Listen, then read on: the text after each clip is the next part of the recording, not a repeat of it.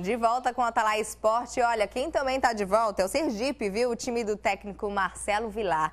Começou agora pela manhã a preparação para a Série D do Campeonato Brasileiro, já com algumas novidades aí, como por exemplo o lateral direito Carlinhos e quatro jogadores do Amadense. Olha eles aí, o atacante Lopeu, os meias Baco e Juan e o lateral esquerdo Diogo. A estreia do Sergipe é dia 21 contra o Jacobina, lá na Bahia. E o Confiança, que vai disputar a Série C do campeonato, contratou o atacante Tiquinho. Olha Olha ele aí que também foi destaque no Amadense, a foto dele aí, ele é candidato a jogador revelação do Campeonato Sergipano, viu? Muito bem, parabéns, Kim, muito boa sorte aos times no Brasileiro.